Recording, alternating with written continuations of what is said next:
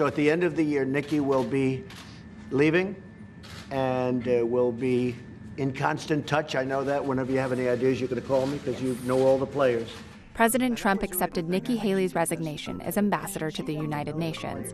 He appointed Haley just weeks after winning the presidential election. Um, it has been an honor of a lifetime. She first served under Secretary of State Rex Tillerson, who preferred behind the scenes diplomacy, allowing Haley to step in as the public face of U.S. foreign policy.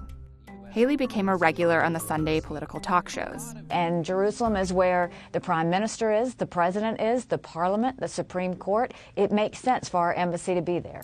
But one appearance caused a rift with the administration. In April, Haley announced there would be tougher sanctions on Russia for supporting Syria's Bashar al Assad.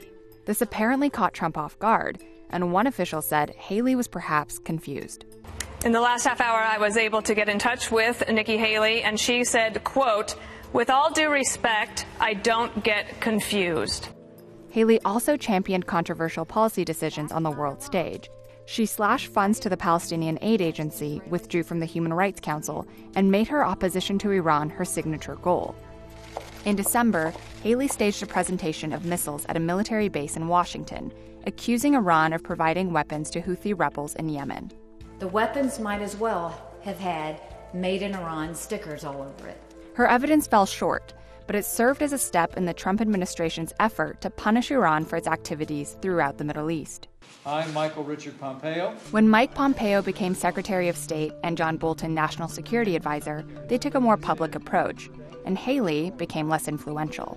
Bolton became more involved with issues in Haley's portfolio, like Iran and the International Criminal Court. Haley had many successes of her own, including passing sweeping sanctions on North Korea and imposing an arms embargo in South Sudan. Look at what has happened in two years with the United States on foreign policy.